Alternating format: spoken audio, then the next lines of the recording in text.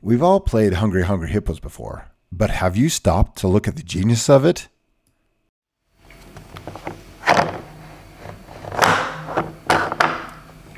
Did you catch all that?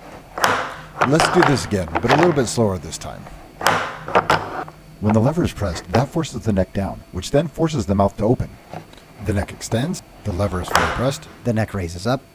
the lever is released, the neck retracts, and the hippo is a very happy, happy hippo. Why does this matter? I'm building giant rideable hippos. Subscribe for more.